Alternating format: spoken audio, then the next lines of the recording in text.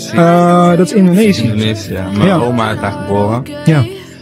Er zijn wel Ja. gesprekken geweest, ehm, ook met de president van de Indonesische Je voetbal. hebt die gesprekken al gehad. Ik heb die gesprek gehad. Eh,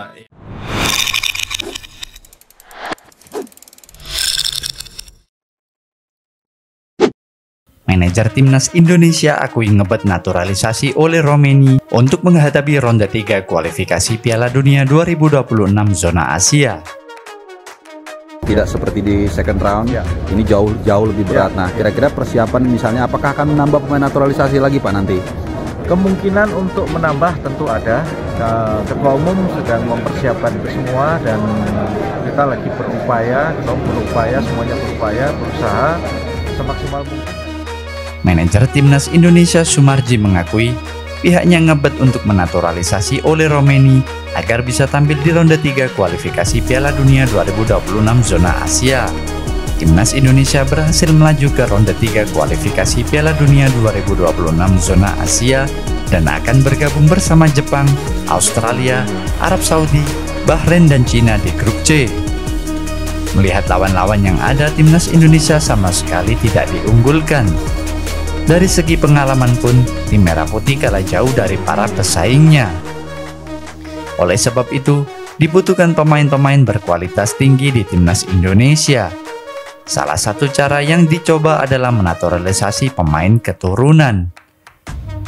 Kabar terkini adalah oleh Romeni yang sedang dikejar oleh PSSI. Sumarji pun mengakui sedang mendekati striker FC Utrecht tersebut. Ya, salah satunya adalah oleh Romeni. Dia yang terus kami kejar supaya bisa membela timnas Indonesia, kata Sumarji saat dihubungi awak media. Selain oleh Romeni, timnas Indonesia juga dikaitkan dengan Kevin Dix. Namun, untuk Kevin Dix, Sumarji mengaku pihaknya belum melakukan proses. Diakui oleh lelaki yang juga anggota Expo PSSI tersebut, pihaknya fokus di lini depan. Diketahui memang Kevin Dix berposisi sebagai back. Anak asuh Sintayong wajib finish di posisi dua teratas jika ingin lolos otomatis ke Piala Dunia 2026. Paling tidak, Asnawi Mangku Alam dan kawan-kawan harus finish di posisi ketiga atau keempat untuk memperpanjang nafas ke babak keempat kualifikasi Piala Dunia 2026 zona Asia. Namun yang menjadi masalah lini depan timnas Indonesia tergolong tumpul.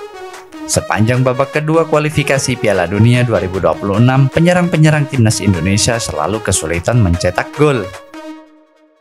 Oleh karena itu, saat ini PSSI berusaha menaturalisasi oleh Romeni yang juga striker FC Utrecht. Ole Romeni merupakan penyerang murni yang kini membela klub Eredivisie FC Utrecht.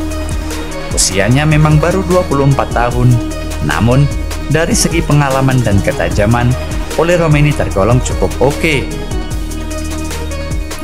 Di musim 2023-2024, Ole Romeni tampil dalam 15 laga bersama FC Utrecht dan mencetak satu gol.